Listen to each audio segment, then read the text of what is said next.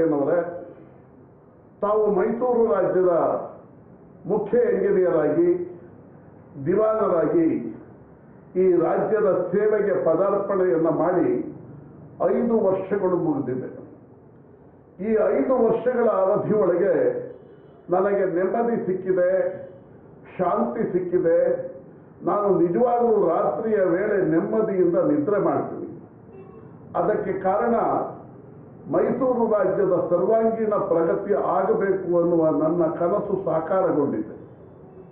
ಆ ಸಾಕಾರಗೊಳ್ಳೋದಕ್ಕೆ ಕಾರಣ ಯಾರು ಅಂತಂದ್ರೆ ಅದು ತಾವು, ಸರ್ ಎಂ ವಿಶ್ವೇಶ್ವರಯ್ಯನವರು ಮೈಸೂರು ರಾಜ್ಯ ಇವತ್ತು ಭಾರತದ ಉದ್ದಗಲಕ್ಕೂ ಇರುವ ಎಲ್ಲ ದೇಶೀಯ ಸಂಸ್ಥಾನಗಳಿಗೆ ಮಾದರಿ ರಾಜ್ಯ ಎನ್ನುವ ಹೆಗ್ಗಳಿಕೆಗೆ ಪಾತ್ರವಾಗಿದೆ. ಕೈಗಾರಿಕೆ, ಕೃಷಿ, ನೀರಾವರಿ ವಿದ್ಯುತ್ ಉತ್ಪಾದನೆ, ಮೂಲಭೂತ ಸೌಕರ್ಯಗಳ ಅಭಿವೃದ್ಧಿ, ಹೀಗೆ ಎಲ್ಲ ಕ್ಷೇತ್ರಗಳಲ್ಲಿ ಮೈಸೂರು ರಾಜ್ಯದ ಪ್ರಗತಿ ಬೇರೆ ರಾಜ್ಯಗಳಿಗೆ ಅನುಕರಣೀಯವಾಗಿದೆ. ಇಂಥದೊಂದು ಸಾಧನೆಯನ್ನು ಮಾಡಿದ ನಿಮ್ಮ ಸಾಧನೆಯನ್ನು ನಾನು ನೆನಪಿಸ್ಕೊಳ್ಳೇಬೇಕು. ನಿಜಕ್ಕೂ ನಾನು ಈಗ ಸಂಪೂರ್ಣವಾಗಿ ತೃಪ್ತನಾಗಿದ್ದೇನೆ. ನನ್ನ ಆಡಳಿತ ನಿಜಕ್ಕೂ ನನ್ನ ಕನಸಿನಂತೆ ನಡೆದಿದೆ, ನನ್ನ ಮಹತ್ವಾಕಾಂಕ್ಷೆ ಈಡೇರಿದೆ, ನಿಮಗೆ ನನ್ನ ಹೃದಯಪೂರ್ವಕ ಕೃತಜ್ಞತೆ ಅಂತ ಮೈಸೂರು ಮಹಾರಾಜ ನಾಲ್ವಡಿ ಕೃಷ್ಣರಾಜ ಒಡೆಯರ್ ಸಾವಿರದ ಒಂಬೈನೂರ ಹದಿನಾಲ್ಕರ ಜುಲೈ ಹದಿನಾಲ್ಕರಂದು ಪತ್ರವೊಂದನ್ನು ಬರೆದು ವಿಶ್ವೇಶ್ವರಯ್ಯನವರಿಗೆ ತಮ್ಮ ಮನಸ್ಸಿನ ಭಾವನೆಗಳನ್ನು ಯಾವುದೇ ಹಿಂಜರಿಕೆ ಇಲ್ಲದೆ ವ್ಯಕ್ತಪಡಿಸಿದರು. ನೋಡಿ, ಒಬ್ಬ ಮಹಾರಾಜ ಒಬ್ಬ ದಿವಾನ. ಇವರಿಬ್ಬರ ನಡುವೆ ಎಷ್ಟೊಂದು ಸೌಹಾರ್ದಯುತವಾದಂತಹ ಸಂಬಂಧ ಇತ್ತು. ನಾನು ಮಹಾರಾಜ, ನನ್ನಿಂದಲೇ ಎಲ್ಲವೂ ನಡೆಯುತ್ತಾ ಇದೆ. ಅವ ಕೇವಲ ದಿವಾನ, ಅವರು ನನ್ನ ಕೈ ಕೆಳಗೆ ಕೆಲಸ ಮಾಡ್ತಾ ಇದ್ದಾರೆ ಅನ್ನುವಂತಹ ಒಂದು ಅಧಿಕಾರ ಮನೋಭಾವ ನಾಲ್ವಡಿ ಕೃಷ್ಣರಾಜ ಒಡೆಯರವರಿಗೆ ಇರಲಿಲ್ಲ. ಮೈಸೂರು ದಿವಾನರಾಗಿದ್ದ ಸರ್ ಎಂ ವಿಶ್ವೇಶ್ವರಯ್ಯ ಅವರನ್ನ ಅತ್ಯಂತ ಗೌರವದಿಂದ, ವಿಶ್ವಾಸಪೂರ್ವಕವಾಗಿ ನಾಲ್ವಡಿ ಕೃಷ್ಣರಾಜ ಒಡೆಯರವರು ನಡೆಸ್ಕೊಂಡಿದ್ರು. ಹೀಗೆ ಒಬ್ಬ ಜನಪರ ರಾಜ, ನಾಲ್ವಡಿ ಕೃಷ್ಣರಾಜ ಒಡೆಯರ್. ಸರ್ವವಿಶ್ವೇಶ್ವರಯ್ಯ ಒಬ್ಬ ದಕ್ಷ ಆಡಳಿತಗಾರ. ದಕ್ಷ ಅಷ್ಟೇ ಅಲ್ಲ ದೂರದೃಷ್ಟಿಯ ಆಡಳಿತಗಾರ. ಒಬ್ಬ ಜನಪರ ಮಹಾರಾಜ, ಮತ್ತೊಬ್ಬ ದೂರದೃಷ್ಟಿಯ ಆಡಳಿತಗಾರ. ಇವರಿಬ್ಬರ ಸಂಬಂಧ ಹೇಗಿತ್ತು ಅಂತಂದ್ರೆ ಮೈಸೂರು ರಾಜ್ಯದಲ್ಲಿ ಸಾವಿರದ ಒಂಬೈನೂರ ಹದಿನೇಳು, ಹದಿನೆಂಟರವರೆಗೆ ಆ ಹಾಲು ಜೇನಿನ ಮಧುರವಾದ ಸಂಬಂಧ ಇತ್ತಲ್ಲ, ಆ ಮಧುರವಾದ ಸಂಬಂಧದಲ್ಲಿ ಒಂದು ಸೈದ್ಧಾಂತಿಕ ಸಂಘರ್ಷದ ಸಿಡಿಲು ಬಡಿತು. ಆ ಸೈದ್ಧಾಂತಿಕ ಸಂಘರ್ಷದ ಸಿಡಿಲು ಯಾವುದು? ಮೈಸೂರು ಮಹಾರಾಜರು ಶೋಷಿತ ಸಮುದಾಯಗಳ ಅಭ್ಯುದಯಕ್ಕೆ ಪೂರಕವಾಗಿ ಶತ ಶತಮಾನಗಳಿಂದ ದಮನಿತರಾಗಿರುವ ಜನರ ಅಭ್ಯುದಯ ಆಗಬೇಕು. ಅವರು ಸಮಾಜದಲ್ಲಿ ಮೇಲ್ವರ್ಗಗಳಿಗೆ ಸರಿಸಮನರಾಗಿ ತಲೆ ಎತ್ತಿ ಬದುಕಬೇಕು ಅನ್ನೋದು ಮೈಸೂರು ಮಹಾರಾಜ ನಾಲ್ವಡಿ ಕೃಷ್ಣರಾಜ ಒಡೆಯರವರ ಆಶಯ ಆಗಿತ್ತು. ಅದಕ್ಕೆ ಪೂರಕವಾಗಿ ಅವರು ಮೈಸೂರು ರಾಜ್ಯದಲ್ಲಿ ಶೋಷಿತ ಸಮುದಾಯಗಳಿಗೆ ಮೀಸಲಾತಿಯನ್ನು ನೀಡಬೇಕು ಅನ್ನುವ ನಿರ್ಧಾರವನ್ನು ಕೈಗೊಂಡಿತು ಶಿಕ್ಷಣ ಉದ್ಯೋಗ, ಮತ್ತಿತರ ಕ್ಷೇತ್ರಗಳಲ್ಲಿ ಅವಕಾಶ ವಂಚಿತ ಸಮುದಾಯಗಳಿಗೆ ಮೀಸಲಾತಿಯನ್ನು ಕೊಡಲೇಬೇಕು ಅನ್ನೋದು ನಾಲ್ವಡಿ ಕೃಷ್ಣರಾಜ ಒಡೆಯರವರ ಸಂಕಲ್ಪ ಆಗಿತ್ತು. ಅದಕ್ಕೆ ಪ್ರಧಾನವಾಗಿ ಎರಡು ಕಾರಣ. ಸಾವಿರದ ಎಂಟುನೂರ ಐವತ್ತೆಂಟರ ಸರಿಸುಮಾರಿನಲ್ಲಿ ಮಹಾರಾಷ್ಟ್ರದಲ್ಲಿ ಜ್ಯೋತಿಬಾ ಫುಲೆಯವರು ಶೋಷಿತ ಸಮುದಾಯಗಳಿಗೆ ಮೀಸಲಾತಿಯನ್ನು ಕೊಡಬೇಕು ಅನ್ನುವ ಹೋರಾಟವನ್ನು ಆರಂಭ ಮಾಡಿದರು. ಜ್ಯೋತಿಬಾ ಫುಲೆಯವರಿಂದ ಪ್ರಭಾವಿತರಾದ ಕೊಲ್ಲಾಪುರದ ಮಹಾರಾಜ ಸಾಹು ಮಹಾರಾಜ್ ಸಾವಿರದ ಒಂಬೈನೂರ ಎರಡರಲ್ಲಿ ಶೋಷಿತ ಸಮುದಾಯಗಳಿಗೆ ಮೀಸಲಾತಿಯನ್ನು ನೀಡಿತು ಶೇಕಡ ಐವತ್ತರಷ್ಟು ಮೀಸಲಾತಿಯನ್ನು ನೀಡಿತು ಅದರ ಜೊತೆಗೆ ಸಾವಿರದ ಒಂಬೈನೂರ ಹದಿನಾರರಲ್ಲಿ ಮದ್ರಾಸ್ನಲ್ಲಿ ಜಸ್ಟಿಸ್ ಪಾರ್ಟಿ ಎನ್ನುವಂತಹ ಒಂದು ಸಂಘಟನೆ ಪ್ರಾರಂಭ ಆಗಿತ್ತು. ಆ ಸಂಘಟನೆ ದಮನಿತ ಸಮುದಾಯಗಳು ತುಳಿತಕ್ಕೊಳಗಾದ ಸಮುದಾಯಗಳಿಗೆ ಮೀಸಲಾತಿಯನ್ನು ಕೊಡಬೇಕು ಅನ್ನುವ ದೊಡ್ಡ ಹೋರಾಟವನ್ನು ಪ್ರಾರಂಭ ಮಾಡಿತ್ತು. ಈ ಹೋರಾಟ ಯಾವ ರೀತಿ ಇತ್ತು, ಅದಕ್ಕೆ ಏನು ಹೆಸರಿತ್ತು ಅಂತಂದ್ರೆ ಶೋಷಿತ ಸಮುದಾಯಗಳನ್ನು ಶತಶತಮಾನಗಳಿಂದ ಬ್ರಾಹ್ಮಣರು ನಿರಂತರ ಶೋಷಣೆಗೆ ಗುರಿ ಮಾಡಿದ್ದಾರೆ. ಅವರನ್ನ ಸಾಮಾಜಿಕ ಸ್ತರದ ಪ್ರತಿಯೊಂದು ನೆಲೆಗಳಲ್ಲಿಯೂ ತುಳಿದು ಪಾತಾಳಕ್ಕೆ ಅಟ್ಟಿದ್ದಾರೆ. ಇಂತಹ ಪರಿಸ್ಥಿತಿಯಲ್ಲಿ ಅವರನ್ನು ಮೇಲಕ್ಕೆತ್ತುವಂತಹ ಕಾಯಕ ಆರಂಭ ಆಗಬೇಕು ಅಂದ್ಬಿಟ್ಟು ಜಸ್ಟಿಸ್ ಪಾರ್ಟಿ ನಿರ್ಧಾರವನ್ನು ಕೈಗೊಂಡು ದಕ್ಷಿಣ ಭಾರತದ ಉದ್ದಗಲಕ್ಕೂ ವಿಶೇಷವಾಗಿ ಮೈಸೂರು ಮತ್ತು ಮದ್ರಾಸ್ ಪ್ರೆಸಿಡೆನ್ಸಿಯ ವ್ಯಾಪ್ತಿಯಲ್ಲಿ ದೊಡ್ಡ ಹೋರಾಟವನ್ನು ಪ್ರಾರಂಭ ಮಾಡಿತು.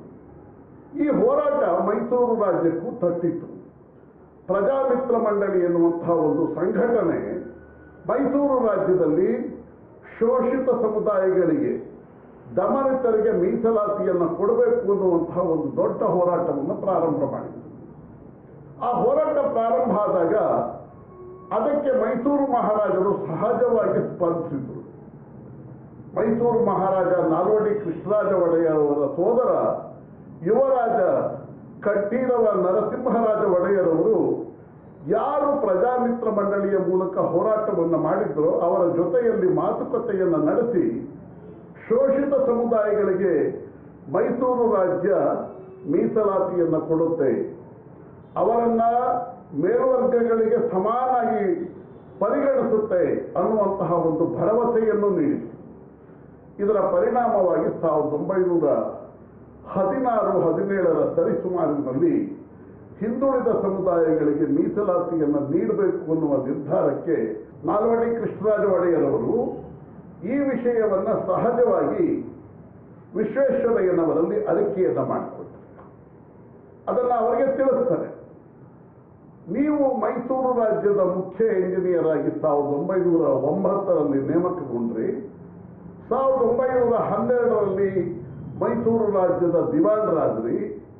ಈ ಅವಧಿಯಲ್ಲಿ, ಅಂದರೆ ಸಾವಿರದ ಒಂಬೈನೂರ ಹದಿನಾರು, ಹದಿನೇಳರವರೆಗೆ ಸುಮಾರು ಏಳೆಂಟು ವರ್ಷಗಳ ಕಾಲ ಮೈಸೂರು ರಾಜ್ಯದ ಸರ್ವಾಂಗೀಣ ಅಭಿವೃದ್ಧಿಗೆ ಪೂರಕವಾದ ಭೂಮಿಕೆಯನ್ನು ನಿರ್ಮಾಣ ಮಾಡಿದ್ದೀರಿ ಇವತ್ತು ಮೈಸೂರು ರಾಜ್ಯದಲ್ಲಿ ಸಾಧಿಸಿರುವ ಪ್ರಗತಿ ಇದರ ಬಗ್ಗೆ ಕೇವಲ ಮೈಸೂರು ರಾಜ್ಯ ಮಾತ್ರ ಅಲ್ಲ, ಭಾರತದ ಉದ್ದಗಲಕ್ಕೂ ಪ್ರಶಂಸೆ ವ್ಯಕ್ತ ಆಗ್ತಾ ಇದೆ.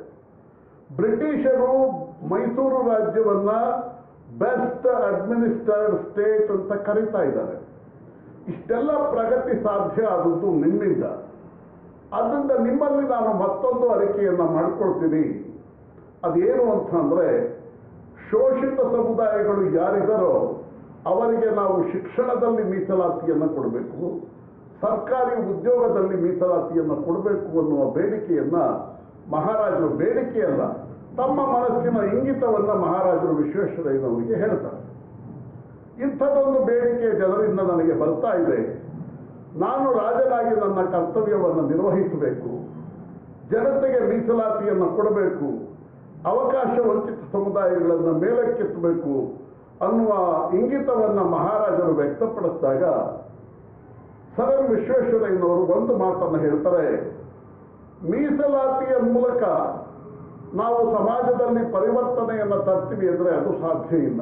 ಒಂದು ವೇಳೆ ಸರ್ಕಾರಿ ಉದ್ಯೋಗದಲ್ಲಿ ನಾವು ಮೀಸಲಾತಿಯನ್ನು ನೀಡಿದ್ರೆ, ಶಿಕ್ಷಣದಲ್ಲಿ ಮೀಸಲಾತಿಯನ್ನು ನೀಡಿದ್ರೆ ಉದ್ಯೋಗದ ಸಾಮರ್ಥ್ಯ ಕುಸಿಯುತ್ತದೆ ಪ್ರತಿಭೆಯಿಂದ ದತ್ತವಾದಂತಹ ಶಕ್ತಿಯಿಂದ ಉತ್ತಮ ಆಡಳಿತವನ್ನು ನಾವು ಪಡೆಯಬಹುದು. ಆದರೆ ಮೀಸಲಾತಿಯಲ್ಲಿ ನಾವು ನಿರೀಕ್ಷಿಸಿದ ಪ್ರತಿಭೆ ದೊರಕೋದಿಲ್ಲ. ಇದರಿಂದ ಆಡಳಿತದಲ್ಲಿ ನೈಪುಣ್ಯತೆ ದೊರೆಯೋದಿಲ್ಲ. ಅದರಿಂದ ಉದ್ಯೋಗದಲ್ಲಿ ಮೀಸಲಾತಿಯನ್ನು ಕೊಡೋದು ಯಾವುದೇ ಕಾರಣಕ್ಕೆ ಸಲ್ಲದು ಅನ್ನುವ ಅಭಿಪ್ರಾಯವನ್ನು ವ್ಯಕ್ತಪಡಿಸ್ತಾರೆ.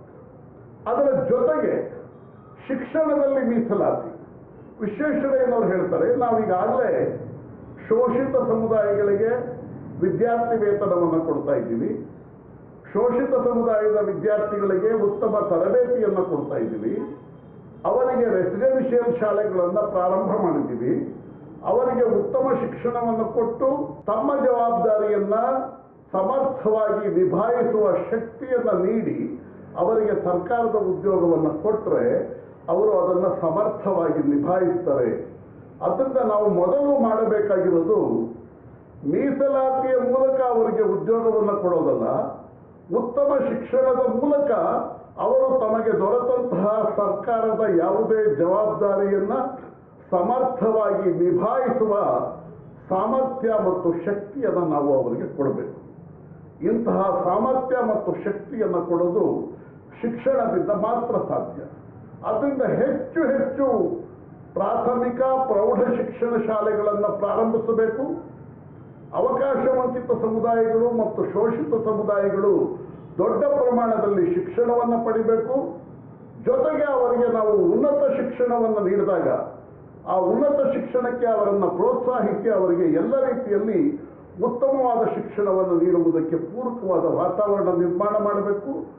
ಉನ್ನತ ಶಿಕ್ಷಣ ಪಡೆದ ನಂತರ ಅವರಿಗೆ ಸರ್ಕಾರದ ಯಾವುದೇ ಜವಾಬ್ದಾರಿಯನ್ನು ಸಮರ್ಥವಾಗಿ ನಿರ್ವಹಿಸುವ ತರಬೇತಿಯನ್ನು ನೀಡಬೇಕು. ಇಷ್ಟೆಲ್ಲ ನೀಡಿದ ಮೇಲೆ ಅವರಿಗೆ ಮೀಸಲಾತಿ ಇಲ್ಲದೆ ಉದ್ಯೋಗ ದೊರಕುತ್ತೆ ಅನ್ನೋದು ವಿಶ್ವೇಶ್ವರಯ್ಯನವರ ಅಭಿಪ್ರಾಯ ಆಗಿತ್ತು. ಈ ಅಭಿಪ್ರಾಯವನ್ನು ಅವರು ಸವಿವರವಾಗಿ ಮಹಾರಾಜರಿಗೆ ನಿವೇದನೆಯನ್ನು ಮಾಡಿಕೊಡ್ತಾರೆ. ಆದರೆ ಮಹಾರಾಜ ನಾಲ್ವಡಿ ಕೃಷ್ಣರಾಜ ಒಡೆಯರವರಿಗೆ ಇಂಥ ಪ್ರಕ್ರಿಯೆ, ವಿಶ್ವೇಶ್ವರಯ್ಯನವರು ಹೇಳಿದಂತಹ ಪ್ರಕ್ರಿಯೆ ಇದೆಯಲ್ಲ? ಉತ್ತಮವಾದಂತಹ ಶಿಕ್ಷಣ ಶಿಕ್ಷಣ ಮುಗಿದ ತಕ್ಷಣ ತರಬೇತಿ, ಇವೆಲ್ಲವನ್ನ ಕೊಟ್ಟು ಅವರಿಗೆ ಸರ್ಕಾರಿ ಉದ್ಯೋಗವನ್ನು ನೀಡಬೇಕು ಅನ್ನುವ ಆ ಪ್ರಕ್ರಿಯೆ ಮುಗಿಯೋದಕ್ಕೆ ದಶಕ ದಶಕಗಳಾಗುತ್ತೆ. ಅಷ್ಟರ ವೇಳೆಗೆ ನಮ್ಮ ಮೀಸಲಾತಿ ಪರಿಕಲ್ಪನೆಗೆ ಸತ್ತು ಹೋಗುತ್ತೆ.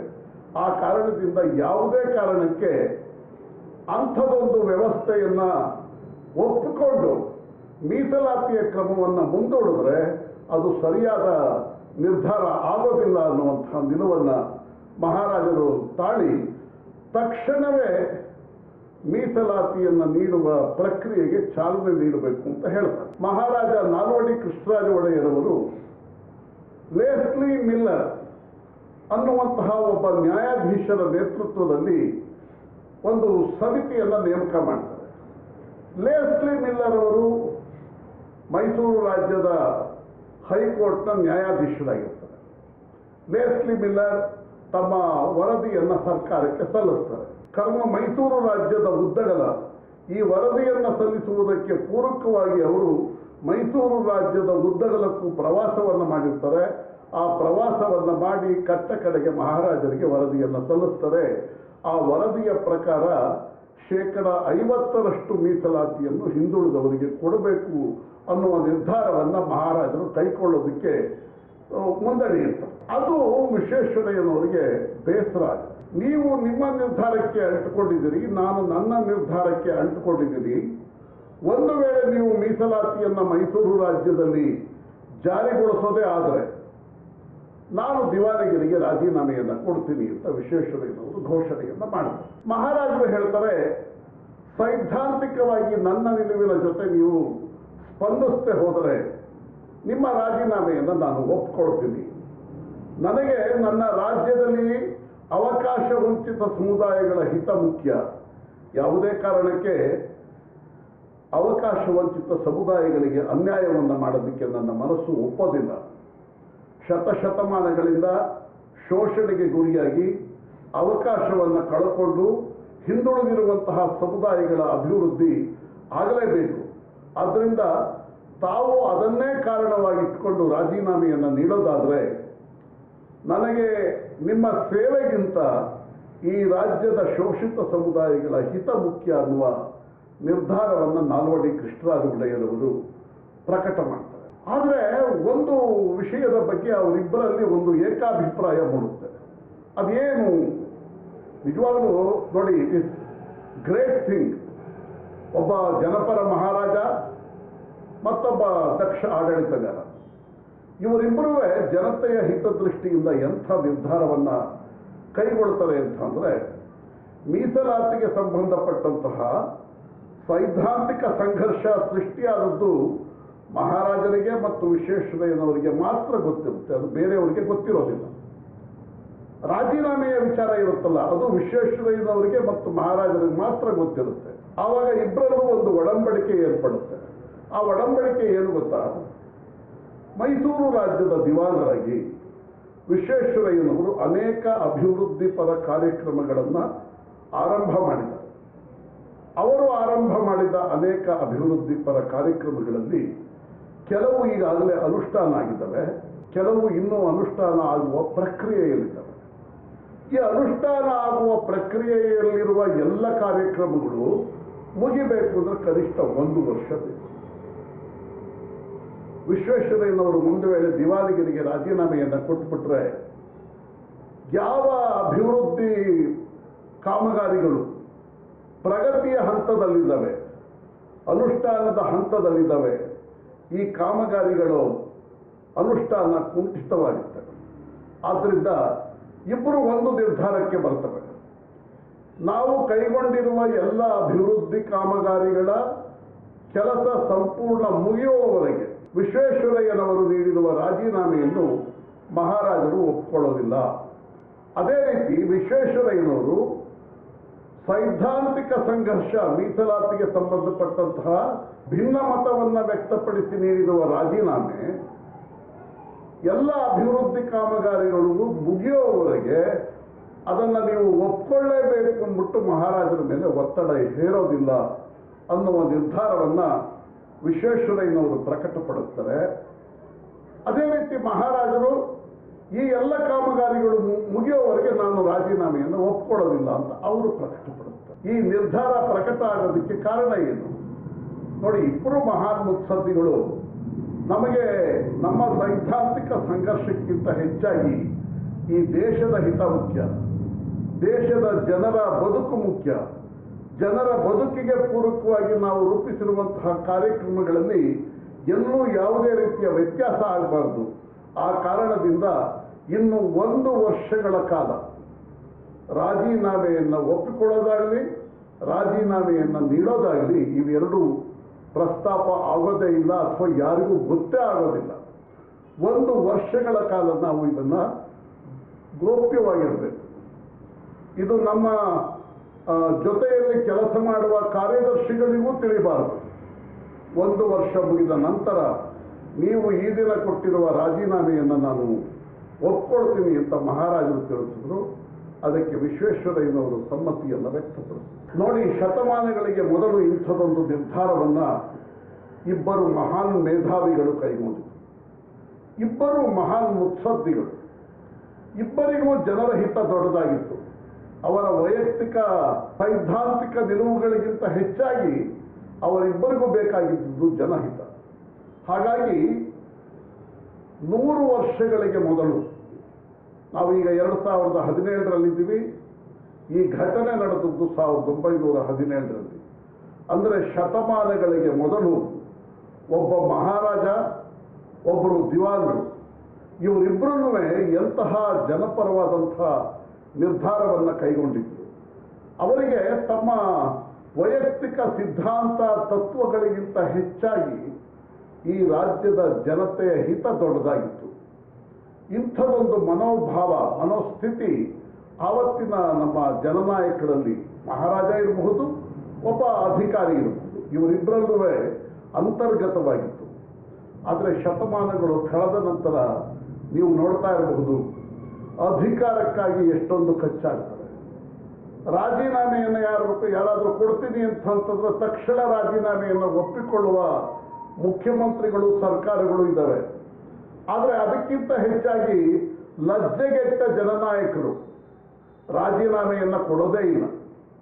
ಅಲ್ಲಿ ವಿಶ್ವೇಶ್ವರಯ್ಯನವರು ಮೀಸಲಾತಿಗೆ ಸಂಬಂಧಪಟ್ಟಂಥ ಸೈದ್ಧಾಂತಿಕ ಭಿನ್ನಮತದ ನೆಲೆಯಲ್ಲಿ ರಾಜೀನಾಮೆಯನ್ನು ಕೊಟ್ಟರು.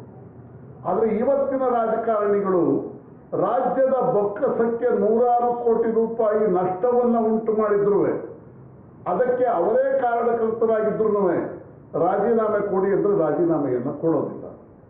ಎಲ್ಲಿಯ ವಿಶ್ವೇಶ್ವರಯ್ಯ ಎಲ್ಲಿಯ ಇಂದಿನ ಜನನಾಯಕರು? ಈ ಹಿನ್ನೆಲೆ ಒಳಗೆ ನಾವು ಇವತ್ತು ಮೈಸೂರು ದಸರಾ ಉತ್ಸವ ಇದೇನು ಸಂಭ್ರಮದಿಂದ ಪ್ರಾರಂಭ ಆಗ್ತಾ ಇದೆ. ಅದರ ಜೊತೆಗೆ ವಿಶ್ವೇಶ್ವರಯ್ಯನವರಿಗೆ ನೂರ ಐವತ್ತಾರು ವರ್ಷ ಆಗಿದೆ ಅವರು ಜನಿಸಿ. ಈ ಸಂದರ್ಭದಲ್ಲಿ ನಾವು ಮಹಾರಾಜ ನಾಲ್ವಡಿ ಕೃಷ್ಣರಾಜ ಒಡೆಯರವರಂಥ ಒಬ್ಬ ಜನಪರ ಮಹಾರಾಜ ಸರಂ ವಿಶ್ವೇಶ್ವರಯ್ಯ ಅವರಂಥ ಒಬ್ಬ ಮೇಧಾವಿ ಅಧಿಕಾರಿ ಇವರನ್ನು ನೆನಪಿಸ್ಕೊಂಡ್ರೆ ಹೊಸ ಪೀಳಿಗೆಗೆ ಇವರು ಕೈಗೊಂಡಂತಹ ನಿರ್ಧಾರಗಳನ್ನು ತಿಳಿಸಿದ್ರೆ ನಿಜವಾಗಲೂ ಒಂದು ಆದರ್ಶಪ್ರಾಯವಾದ ಬದುಕನ್ನು ಬದುಕೋದಕ್ಕೆ ಹೊಸ ಪೀಳಿಗೆಯ ಯುವಕರು ಪ್ರಯತ್ನ ಪಡಬಹುದು ಅನ್ನುವ ಕಾರಣದಿಂದನೇ ಈ ಒಂದು ಎಪಿಸೋಡನ್ನು ನಾವು ಸಿದ್ಧಪಡಿಸಿದ್ದೀವಿ. ಇದನ್ನು ನೋಡಿ ನಿಮ್ಮ ಅಭಿಪ್ರಾಯಗಳನ್ನು ತಿಳಿಸಿ. Thank you.